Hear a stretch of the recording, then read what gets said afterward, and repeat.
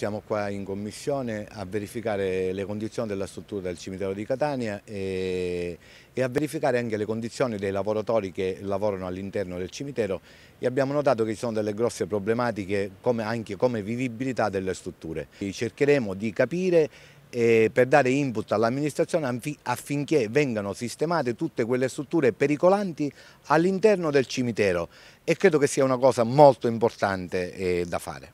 Un normale sopralluogo al cimitero di Catania si trasforma in aperta denuncia per le condizioni in cui si trovano le bare dell'obitorio e la mancanza di sicurezza nel Camposanto. Loculi in attesa anche da quattro anni per una degna sepoltura. Queste sono le condizioni in cui sono conservati i corpi dei migranti morti durante la traversata dell'Epifania dalle coste libiche a quelle siciliane. Fuori dall'obitorio invece si moltiplicano le richieste di intervento per garantire maggiore sicurezza contro atti vandalici e furti dalle tombe. Qui lamentano le persone, spariscono fiori, vasi e piccole statuette. Un ulteriore dolore per coloro che devono già sopportare quello legato alla perdita del proprio parente o amico. Non solo zia Lisa comunque, al centro della discussione restano anche le condizioni dell'impianto gemello nella parte nord di Catania e precisamente a San Giovanni Galermo, dove mancano gli spazi adeguati.